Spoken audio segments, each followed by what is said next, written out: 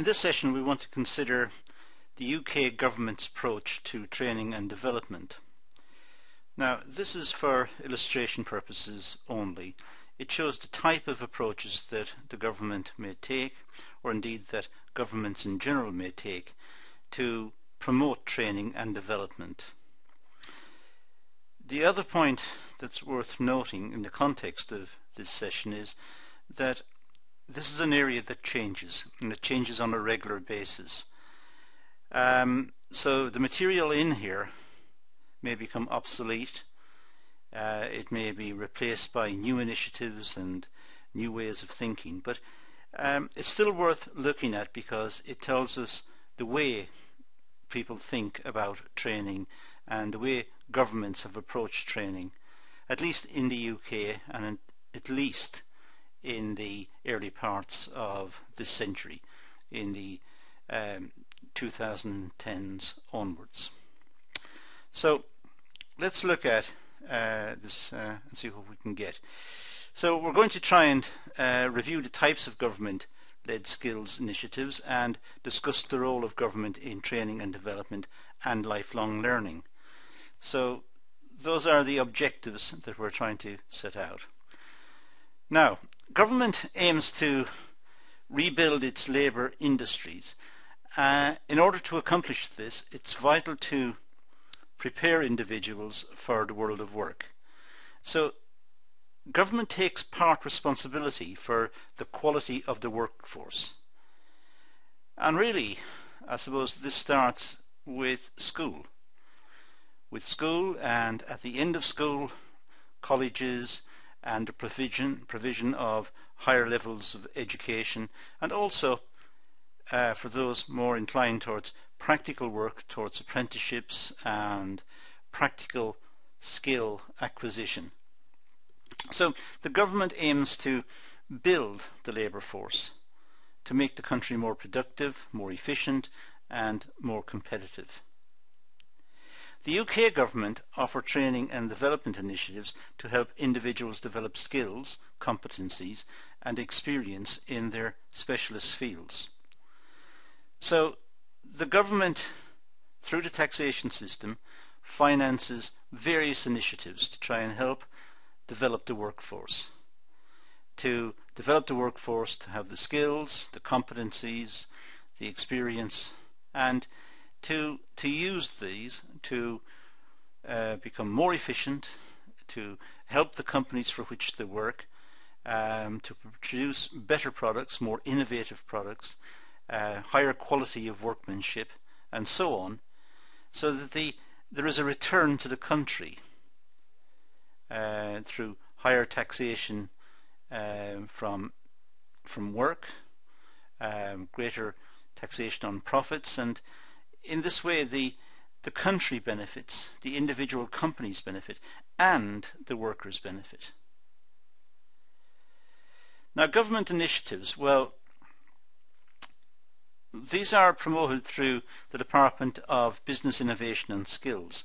Now the names of government departments may change from time to time as well. New Prime Ministers, when, when they arrive, like to make their mark by changing the names of departments or sometimes to refresh the government uh, if it's been in power for some time. They seem to like to change the, the names of government departments also. So what we've got here may be historic, but again, that's not the point. The point is that these are initiatives that have been taken and they indicate the types of measures that governments will be looking at to try and promote efficiency within the labour market. We also have um, a skills funding agency which tries to promote skills. Now many of these um, uh, sections I won't make a lot of comment on other than to say that the skills funding agency tries to promote skills. It's almost self-explanatory. Uh, investors in people is quite a big topic and it's one worth a little bit more uh, consideration later. Uh, Sector Skills Council, um, looking at skills within particular sectors of the the country, engineering skills, for example, or um, catering skills in some areas, or hotel management, or um, all sorts of skills, and looking at it by sector and seeing what skills need to be promoted within those sectors. Learn Direct is uh, a government initiative to try and promote education with a practical bias. And generally speaking, the courses are free. Uh, some premium courses may cost some money, but generally speaking, they're free. Um, some of them are online, uh, some are operated through centres. So the government has um, a layer of provision over and above the, the more traditional colleges and institutions of that sort. There's also the Institute of Personnel and Development, a particular institute, professional institute, chartered institute, which means uh, it's highly thought of and, and approved uh, of. And the institute tries to promote skills and training and a professional approach to, to work. There are various apprenticeship schemes that are in place. Um, again, taking school leavers and trying to get them to acquire the skills for, for particular trades or particular um, areas of work. For example, uh, the building trade may take on apprentices the car industry may have apprentices. Um, there are all sorts of areas where apprenticeships uh, are used. And this is to the benefit of the company because the, the people who take the apprenticeships, uh, who are probably 17 years old, um, thereabouts, these people are can be molded by the company to have the skills that the company require. But at the same time, the the people taking the apprenticeships are acquiring acquiring skills, many of them highly marketable later in life. So it's learning by doing, learning by working for the company. And within the apprenticeship schemes, there are all sorts. There's one called the New Deal, not to be confused by, uh, or with, I should say, the, the New Deal program in America uh, in the 1930s. Um, the New Deal in the context of the UK is uh, trying to collaborate with companies to get them to take on apprenticeships and take on apprentices and issue apprenticeships I should say and helping the companies to to take on workers. Uh, Train to Gain was another scheme that was put out and NVQs, the national vocational qualifications which rewarded apprentices and people undertaking training with qualifications to show exactly what their, their level of competence is so that they become more marketable in the labour market. Now I said earlier uh, investors in people was one area that um, warrants a little bit more consideration. It's been operating since 1991, uh, Investors in People, and ha it has dedicated their time and expertise to transforming organizations through effectively utilizing their human resources. So it it rewards organizations with accreditation if they're doing a good job with their staff, training their staff, promoting their staff in areas to, to take on new skills and new competencies and developing the staff and being involved with the development of the staff. So the company is investing in people, but of course the company is benefiting from having a more skilled workforce also.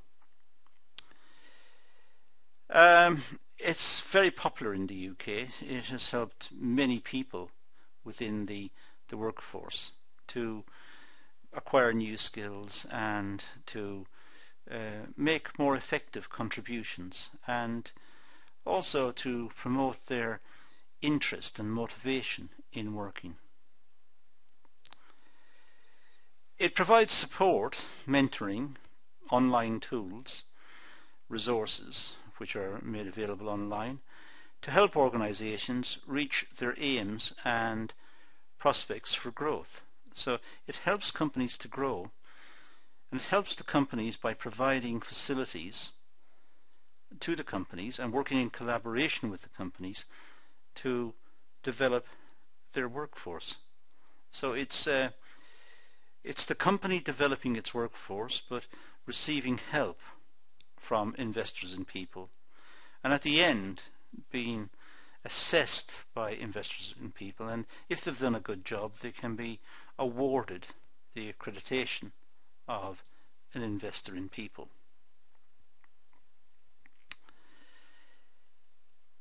So investors in people offer organizations the support to improve financial performance, um, motivation, leadership skills and employee engagement. It helps uh, the company to motivate its workforce and develop leadership skills and so on. Um, it has an impact on productivity because if the workers are more efficient and more highly trained, the chances are they're going to be more productive. There's a better chance of innovation and better product service also if the workers are highly trained and highly motivated. So there's another benefit to the to the company. And better quality with all aspects or within all aspects of the organization. As the work flows through the organization it's recorded more precisely it's monitored it's checked. There's better quality in the product and the workforce have greater pride in what they're doing because they are more highly trained. And the the workers will be more loyal to the organization also because the organization as wanting to help them so they they respond they respond to that type of employer. Investors in People aims to reduce staff absenteeism and try to reduce the labour turnover, people leaving jobs. If people are happy at work, they will stay there. If they feel the company is helping them and trying to promote their skills and their interest in, in the work that they do and they're being respected and uh, developed, the chances are the staff will want to stay and they'll want to participate more fully in the work of the company. Which of course saves on recruitment costs. Uh, recruitment is an expensive thing for companies to engage in. Um, they may have to employ uh, agents to recruit the right people. Um, they may have to place advertisements in uh, newspapers or in the general press, or and then they've got the interviewing and selection, and it's it's a costly business recruiting staff. So investors in people by uh, promoting people within work, promoting their interests and developing their skills and uh, acknowledging their contribution, it reduces uh, labour turnover. Now the Department of Business Innovation and Skills, well, this is responsible for economic growth through investment in skills and education, which in effect helps boost trade, innovation and provides opportunities for individuals to develop their own business. So this is part of the enterprise culture. This is the idea behind the enterprise culture, to try and get economic growth through investment in skills and education, uh, which in effect helps boost trade. Uh, better work, workmanship, better uh, application within work. Uh, the quest for more sales may lead to more trade, perhaps international trade. It'll lead to innovation, the, the quest to innovate and out outcompete the competitors, provide opportunities for individuals to develop their own business even, because the people feel confident, they have more skills, more competencies, they have been developed. So the aim is to develop economic growth. The department is also responsible for higher education and skills to the business trade. So uh, the department looks after universities and colleges and tries to promote general economic growth by having a more productive labour force. Uh, works closely with the skill funding skills funding agency to fund and promote adult adult education and skills training in England. Uh, adult education is ongoing because people reach a certain age doesn't mean they can't learn. So um, it means that skills are updated and new skills are taught right throughout the working life. And it's the function of that particular government department to try and encourage this happening within the workplace.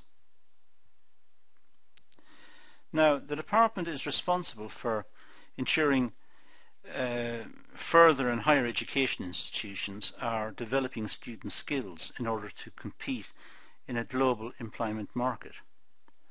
Globalization has blurred uh, boundaries and now many people who are working let's say in the UK will consider themselves not only to be in competition with other companies within the UK but potentially in competition with companies right throughout the world. Um, so globalization means that workers have to have high quality skills in order to survive and the department focuses in on this. It also promotes innovation, entrepreneurship uh, and the science and research industries. Um, it tries to encourage entrepreneurship through setting up new businesses and encouraging people to have ideas. And there are various schemes that are run to try and give grants and startup capital to people with good ideas to try and encourage new industry but also promoting research because research may be the starting point of entrepreneurship. It also tries to ensure that legislation is fair for customers and businesses. Um, th there should be honest and open information about products and about working conditions and about employment and about contracts and so the department tries to make sure that there is fairness within the labour market. So it, it helps or tries to help new businesses starting up and also existing businesses to grow further. Now the Sector Skills Council, well, this is an employer-led organisation working in collaboration with uh, UK Commission. The Sector Skills Council aims to sustain economic growth by job creation through employer investment in skills and development. So it's trying to create work by investing in skills and by developing the workforce. It's employer led, so it's it's not the government, it's um, it's industry trying to put back something put back something in the form of more training for the, the workforce and encouraging entrepreneurship and encouraging development and the, the encouragement of skills and skill development. It's made up from large and small organisations, uh, trade unions are involved, and also the voluntary sector. The focus is to raise employee skill levels and create more jobs. So it's quite straightforward. It's trying to uh, develop employee skills so that there is greater job security, more jobs, better quality work, more economic growth and a more vibrant economy. Now its focus, well develop a world-class labour market. Now, I appreciate that every country will want to have a world-class labour market, um, but it's important that the government and the sector skills council and trade unions and, and everyone aims towards improving standards. So the sector skills council aims to try to develop the labour market so that it becomes more competitive and more skilled and more capable of taking on international competition. So there's greater investment in employee skills. Employee training and skill development to compete with competitive markets and changing demands of society and organizations. Markets are not static institutions. Markets change, markets evolve, tastes change. So the uh, organizations have constant pressure to try and develop their themselves.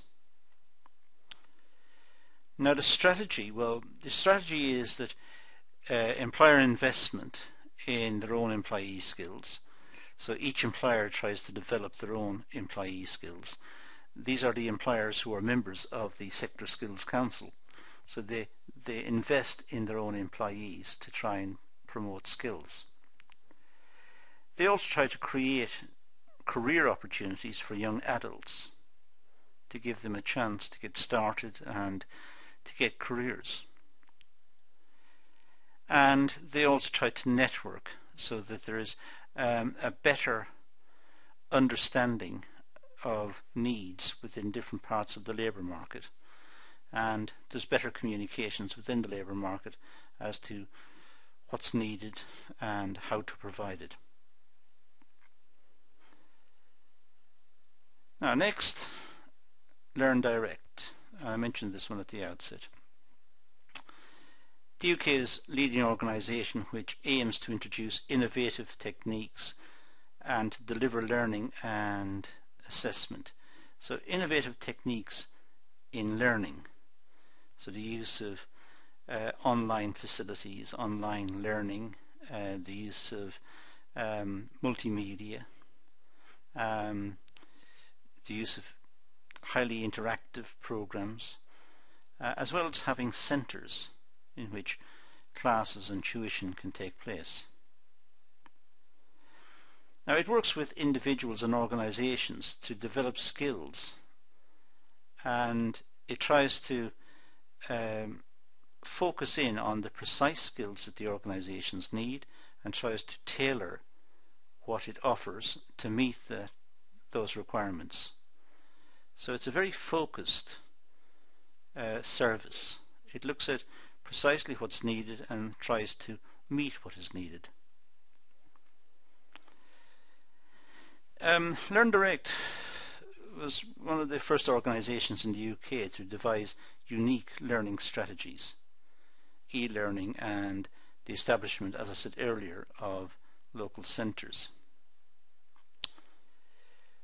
Uh, the focus is to offer individuals uh, the opportunity to learn and acquire skills which will help them uh, thrive in today's competitive market. So it's adding to skills. It's adding to the existing skills of workers to make them even more efficient and more competitive and more equipped to deal with uh, situations in the changing market in which we find ourselves, the changing conditions in which we find ourselves, the advent of new technology, globalization and so on.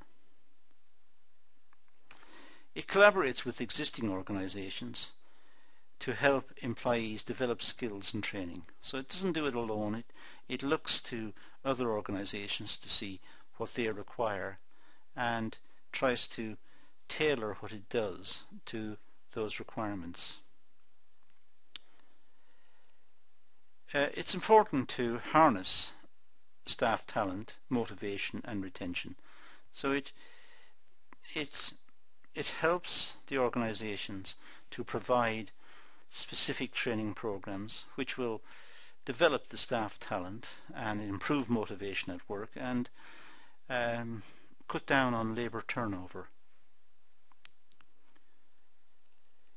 It offers apprenticeships, uh, functional skills, computing skills and different qualifications in maths and English and the national vocational qualifications. So it's very practical orientated, looking at what exactly is required within a practical context to try and develop the, the practical skills that industry and commerce need.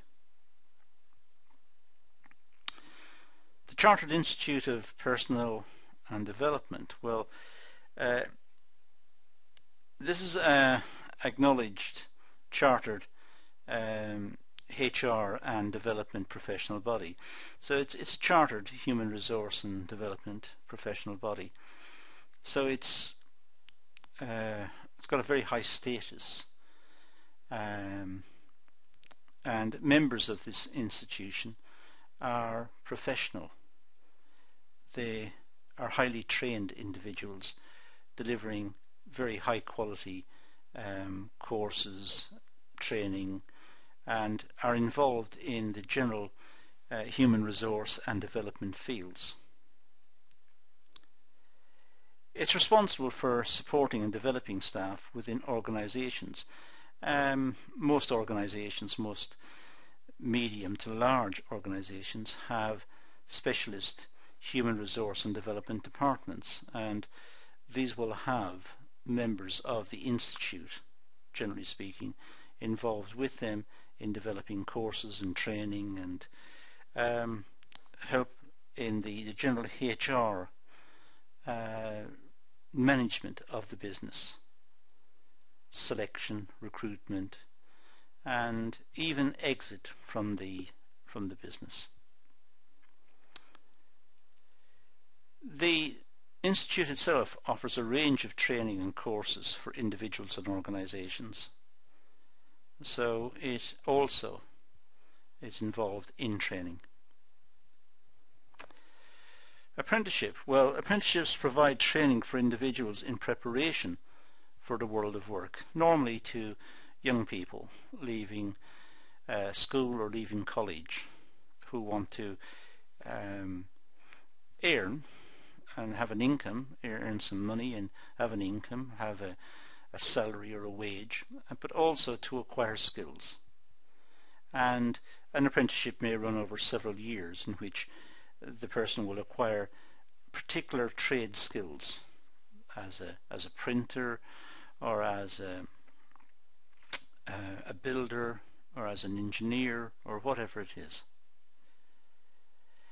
They're offered in a range of occupations where individuals have the opportunity to earn a salary, as I said, and gain some job training. They're available for anyone over the age of 16 and they have the following benefits. The person earns a salary, they get holiday pay, uh, receive training and achieve a qualification and skills. So there are many advantages to being involved in the apprenticeship uh, scheme for young people. Um, to go to college normally involves paying tuition fees and the time spent at college uh, is time that was not used to earn to earn an income. So apprentice, apprenticeships are highly valued. Now the types of apprenticeships, well, they've got different names depending on the types. I'm not going to get involved with the nitty gritty of, of these, but one is train to gain. Um, that's a type of apprenticeship which has got certain characteristics which I said we don't need to go into. Um, New Deal I mentioned earlier, again um, just trying to involve employers and apprentices to try and um, uh, promote skills and training within uh, the sector or within the country or within the company, whatever uh, applies. The national vocational qualifications, well, those are used to assess the training that's been delivered, to assess its quality and its its depth to see if it's deep or if it's superficial and also to see um, exactly what skills and what training were provided. So it's it's a way of um, assessing the effectiveness of the scheme. Now to conclude this session, well, the government provides a wealth of resources for individuals to gain skills and qualifications for the world of work. The government is constantly looking for ways to promote training and to promote uh, efficiency and long-term growth in the economy. And the best way to do that is to have a skilled labour force and to have a labour force who are constantly being updated. Their skills are being updated. They're being kept abreast of new developments in technology, in uh, working practices, and so on. So the government has a role to uh, be involved in this area. Most courses that the government uh, come up with are free or funded by organisations. Uh, we say the word free, of course nothing is free. The courses that are provided by the government are funded by the taxpayer and some courses are funded by companies or by organisations. Government initiatives aid employee development and encourage staff to develop their skills and development. So the government is constantly trying to um, develop individuals and encouraging companies to provide schemes which will facilitate learning and skill development. There's always a, a need to uh, disseminate good quality practice, to, to make it known, to pass the word about what is good practice. And um, the Chartered Institute of Personnel Management and Development is it's a good way of uh, passing that information around. Its members get to know about it. It has a professional magazine, and the word gets round. But the government may also um, be involved in passing the information around as well as to what is good practice and helping employers develop training programs which will uh, pass on what is good practice and improve efficiency uh, in that way. So it's the whole idea is to improve the, the quality of the, the labour force. Improve the quality of the labour force, improve their motivation, improve their effectiveness. Um, it'll reduce labour turnover. It'll promote economic growth, more efficiency, more competitiveness, which in a society which is changing because of the the onset of technology and also because of globalization, these are important skills. So there are different agencies in the country that are trying to do these and this little session is looking at various agencies that have come into existence in the UK. Other countries will have different arrangements but the desire to have a more efficient workforce uh, is presumably the same in every country. It's how to do it that may vary. That's all I'm going to do in this session. Um, there are many references that um, may be used to pick up on this. But um, essentially what we need to know out of this session is simply the importance of training and the fact that there are practical schemes that governments and employers and organizations put in place to try and develop the skills within the workforce. So with that, I'm going to leave it for there and say thank you for watching.